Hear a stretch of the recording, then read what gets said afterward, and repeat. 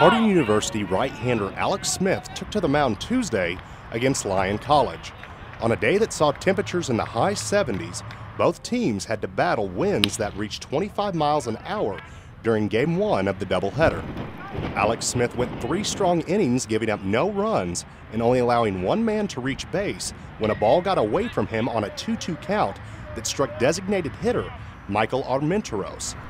The Bisons took a 2 0 lead entering the fifth inning. However, the bats of the Scots couldn't be silenced for long. With the bases loaded, junior Michael Armenteros singled up the middle, putting the Scots on the scoreboard.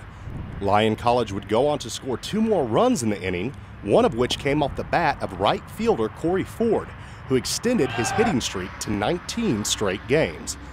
The Bison's pitching woes continued, giving up six runs over the final two innings. Lyon third baseman Aaron Thornton finished the day two for three, following a three run shot that gave the Scots a seven run lead entering the final inning.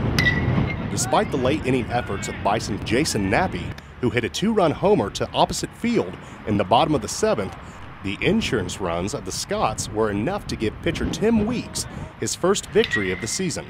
Weeks went six innings, giving up only two runs on six Bison hits. Although Weeks struggled at times walking four batters, his three strikeouts were enough to hand the Bisons their 19th loss of the season. With the 9 5 victory, Lyon College improved to 21 and 10 overall. The Bisons fell to 500 on the year and fifth in the West Division of the Gulf South Conference.